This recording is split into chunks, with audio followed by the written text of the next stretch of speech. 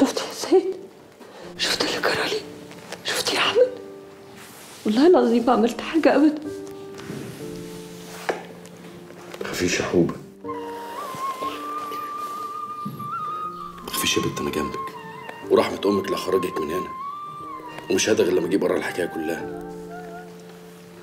ما كنتش أتخيل ابدا إن حصل لي حاجة زي دي. ابات في الاسم وأبقى متهمة في مصيبة ما أعرفش عنها حاجة؟ تلاقيش أنا كنت عند المدام صاحبة السنتر وهي قالت لي إن هي مش متهماكي في أي حاجة. يعني ممكن تخرجي الليلة دي إن شاء الله. ما تقول لها حاجة يا سيد. طمني يا حوبة كل حاجة ترجع زي الأول وأحسن إن شاء الله.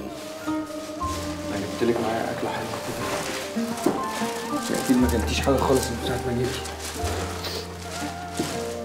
بس مش عايش وحلاوة ما تقلقيش أنا جبت الكتاب ده من وسط الكتب بتاعتك.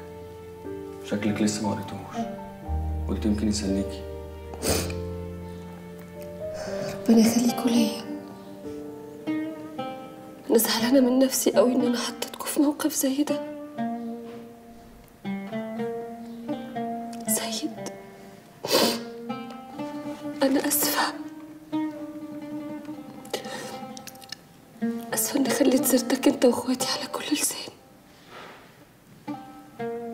حاسة إن أنا حطيت راسك في الطين بس ورحمة أبويا ما كنت أقصد أعمل كده أبدا. يا بنت الكلام ده. دين إيه وهباب إيه؟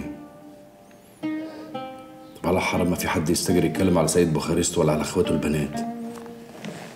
مش زعلان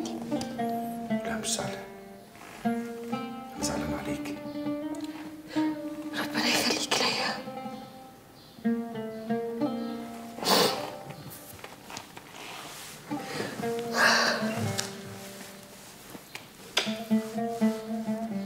كله هيعدي شايبة حليب